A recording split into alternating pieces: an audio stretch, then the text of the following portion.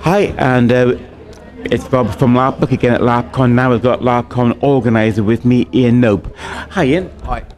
Uh, it's a bit of a grandiose title because basically I make my wife do the work, so it's actually Emily Knope, which you probably tap up. But Right, so it's, em- Emily's doing all, all the organising, but you're Yeah. kind of the face of, La- of I am indeed the face of LARPCon. My job is to talk to people. That's so I cool. wander around and I talk to people. Okay. And we, we've had a couple of years break now Yes. uh, from uh, the long run of prior LARPCon, but how is this one going now? Seems to be going quite well. Because of the current situation, we've got we've changed how we run LARPCon. Right. So rather than buying a ticket and coming all weekend and staying, we have different slots. Yeah. and that's that's sort of good and sort of bad. People are having to get used to buying a ticket online rather than just throwing money at us. Yeah. Which some people are fine with, some people are not fine with. Yeah. But it's the future. We've got to get used to it. Um, it's meant there's less, less risk of us getting robbed on the front desk, I suppose. Um, but because of the slots, it's also meant a difference in tickets and things like that. And we haven't had a year of progression. In LARP, I will always say um, a, an average LARP game will lose about 10% of its players a year. Not through anything other than, no matter what they do, just people grow older, they get married, they ch- the circumstances change in a number of ways, and they can't come to LARP anymore. And that's, that's natural, that's just part of life. And occasionally they come back to LARP later. But what most LARPs do is recruit. So each year you get recruitment to cover that. You get about 10% recruitment. But last year there wasn't recruitment, so it's got a little bit stagnant. But I think we're getting on top of it, and certainly some organisations have reached out to engage with their uh, player base during the times they're not running events are looking to, to attract more people coming to their events. So it's not all doom and gloom, it's just a little bit dark. I think I think that's absolutely right. It's been a, it's been that period. Everything just stopped dead. I think, I think stagnation. Wait, right word for it. I think you find that having a LARP shopping channel shot into action during that time. Actually, I did notice that you did have the shopping channel, and you also ran a, a number of sales cha- uh, sales events last year as well. Indeed. Well, last year was different because lockdown had finished, uh, but events couldn't start. We were very conscious that when I go to an event, what I want to, I care about is the toilets and how I clean my hands. I know that's not very in character, and I should be worrying about the arrows being filled, filled the sky being full, filled with arrows or something. But what I care about is where I go to the toilet and wash my hands. And I assume that a lot of other people think the same. And right now, what people want to do is wash their hands.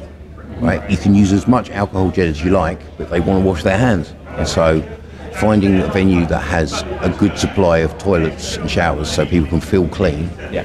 was important. Running outside as well meant that we weren't in an enclosed space. But also last year, because we took advantage of some other events not being able to run, to use the dates that would normally be taken up for those to run what we did. And I'm not sure what we're going to do about those this year because, for example, Empire is running this year. Yeah. So being able to say they're not on this weekend, we know it's free. We know all our traders uh, that come are free, isn't the same. But people liked it, so we might have a go. Yeah, I think that I think the, the feedback I got, people were, liking them. Yeah. So yeah, but uh, you're right. The, the issue is clashing with established LARPs and trading LARPs. Well, yeah, absolutely. We've never really looked to clash with anything. We want to support LARP and bolster it. Um, and running an event at the same time as that would not happen.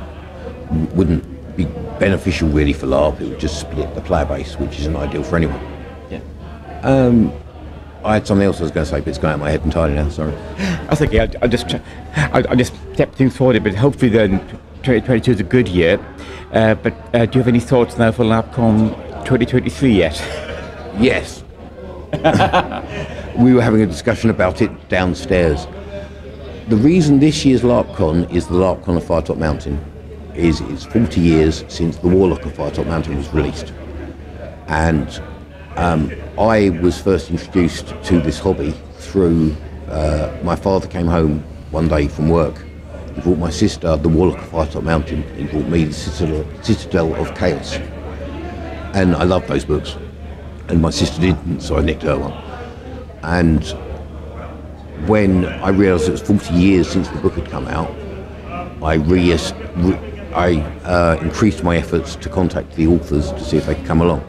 Initially, we contacted uh, Steve Jackson because he was a lecturer. He used to be a lecturer at Brunel College, and one of my LARP associates is also a lecturer at Brunel College, and so he had to connect. He had a link.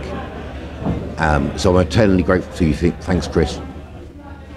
Um, I messaged them. I messaged Steve, and I got an email from Ian Livingstone while while I was playing D and D, as it happened. So I'm uh, we're playing it on Zoom, and I'm yeah. I, I don't care. Sorry, everyone. I just got an email from Ian Livingstone um, saying that Steve wasn't that well at the moment, wouldn't be able to make this event, but he probably would. And so we followed up, and along came Steve, and made many people's dreams come true yesterday afternoon and last night. Yeah, yeah, absolutely did, yeah. Yeah. Well, he signed my book, Yeah. the Dicing with Dragons, which is a book from 1982, which talks about LARP, and it talks about Treasure Trap, and it talks about Killer and some other things. But it also is one of the first mention. It's one of the first mentions of LARP, and he does actually call it live action roleplay. And so I got him sign it with the word at the front. It's spelled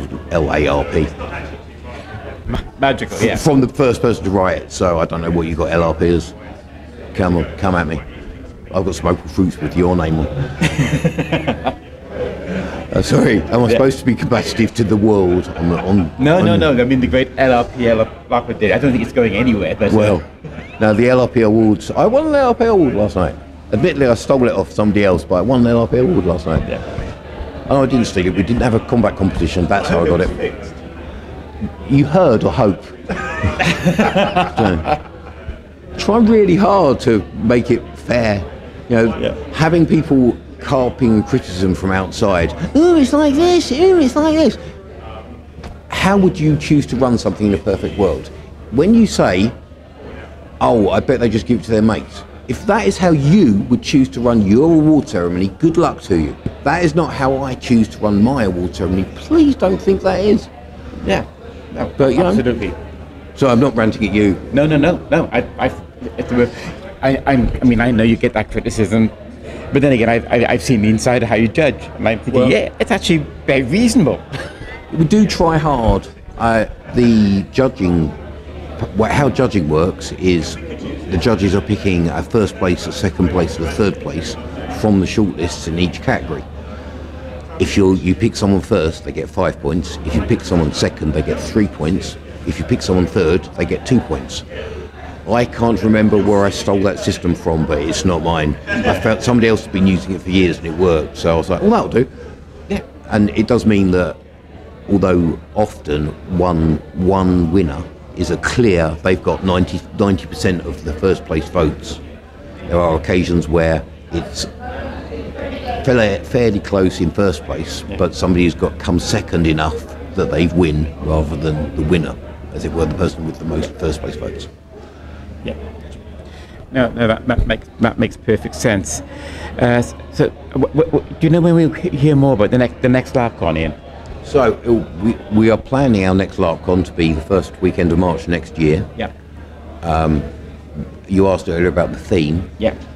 This year is 40 years since the Warlock of Firetop Mountain. Yeah. And that is the reason I got into gaming and to playing Dungeons and Dragons and into LARP and to forming, having a LARP and making weapons for a living and eventually to LARPCon. So Warlock of Firetop Mountain is why this is happening. Yeah. Uh, so we're looking at next year. Next year would be the, the anniversaries. It is 40 years since the publication of The Colour of Magic. So the LARPCon of Magic could be a thing.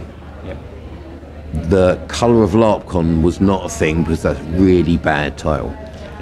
And the other thing is, Magic the Gathering was released in 1993, so it's actually 30 years of Magic the Gathering. And because of the nature of Magic, we've got lots of ideas on that as well. Yeah. So we're still thinking. So now we're here. What does everyone think? Would you prefer a, uh, theme of Discworld or Magic the Gathering? That should start a fight. And if you say Magic the Gathering, or if you get too irate, we're just going to think you're an LRPer, so we won't mind. Yeah. Actually, I, I, I, I'm going to open that one up to our community. So, um, write in and tell us. Um, Ian, Ian does look at the community, so please write in and tell us which one you prefer. We'd love to see the result from that. Indeed. And I think that's all for now, Ian. So I'd just like to say thank you all very much. Uh, so just like to remind you all that. I want to say thank you to Ian for running a really good con. It's been a, it's been a fantastic weekend, and don't forget, it's all Sir Ian Livingstone's fault.